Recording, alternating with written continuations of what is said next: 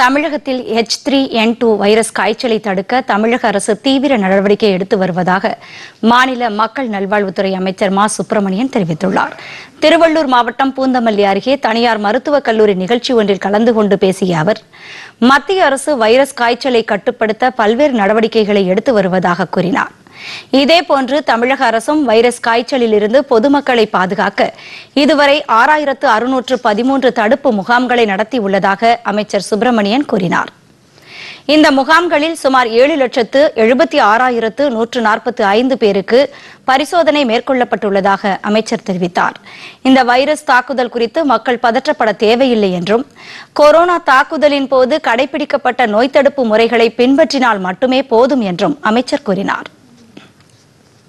தமிழ்நாட்டில் இந்த காய்ச்சல் என்பது கட்டுப்பாட்டில் இருக்கிறது.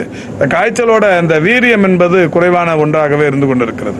ஒரு மூன்று நான்கு நாட்கள் தனிமைப்படுத்திக் கொண்டால் போதும் என்கின்ற வகையில் அது அறிவுறுத்தப்பட்டிருக்கிறது. தனிமைப்படுத்திக் கொண்டிருப்பதற்கான காரணம் என்பதும் கூட இந்த காய்ச்சல் வந்தவர்கள் வெளியில் வந்து இருமும் போதோ தும்மும் போதோ அவர்களின் வாயிலாக வெளிவருகிற அந்த நீர் திவலைகளின் மூலம் மற்றவர்களுக்கும் இந்த பாதிப்பு கூடுதலாகும் என்கின்ற வகையில் அந்த அறிவுறுத்தல் செய்யப்பட்டது. தமிழ்நாட்டில் தான் ஆறாயிரத்தி அறுநூறுக்கும் மேற்பட்ட காய்ச்சல் சிறப்பு முகாம்கள் நடத்தப்பட்டிருக்கிறது. இதன் மூலம் தமிழ்நாட்டில் இதுவரை பயன்பெற்றிருப்பவர்கள் ஏழு லட்சத்தி எழுபத்தி ஏழாயிரத்தி நூத்தி நாற்பத்தி ஐந்து பேர் பரிசோதிக்கப்பட்டிருக்கிறார்கள்.